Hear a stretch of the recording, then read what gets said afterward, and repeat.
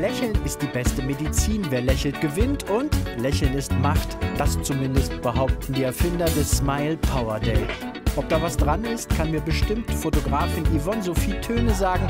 Eins lerne ich schnell, wer vor ihrer Kamera lächelt, meint das auch so. Äh, ich kenne auch ein Model, die fängt immer an, ganz künstlich zu lachen. Bevor das halt so blöd klingt, kommt dann halt irgendwie das echte Lachen, wenn man sich selbst auch so ein bisschen lächerlich findet. Funktioniert auch bei mir, aber jetzt Schluss mit lustig und zurück zur Machtfrage.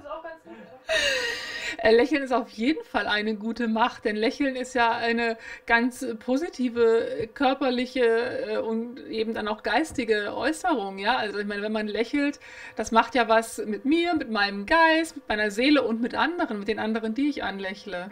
Smile, though your heart is aching. Lächeln, erzählt mir Fotografin Yvonne Sophie, ist eine universelle Weltsprache und noch dazu eine unmissverständliche.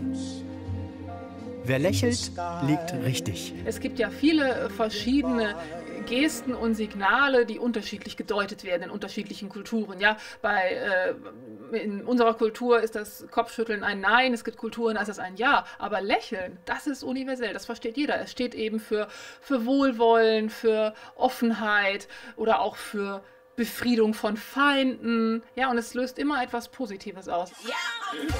Aber nur, wenn das Lächeln echt ist. Sonst empfangen wir Signale, die uns sagen, hier stimmt was nicht. Das ist dann so ein bisschen so, oder auch so. Da merkt man halt, das ist nicht echt, hallo, hey, ich bin ihre Servicekraft. Hm? Das ist falsches Lächeln. Da bewegen sich die Augen nicht mit. Das bezieht sich nur auf die Mundwinkel. Und bei dem echten Lächeln, da bewegt sich ja das ganze Gesicht. Da sieht man äh, Lächel- oder Lachfältchen an den Augen. Und das ist dann das Lächeln, was auch positiv äh, auf uns wirkt. Das gilt natürlich auch für das perfekte Fotolächeln.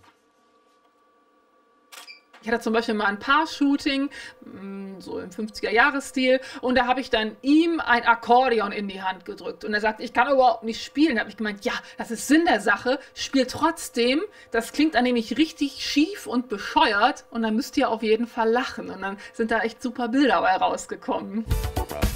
Die Macht des Lächelns. Ansteckend, aber nicht gefährlich.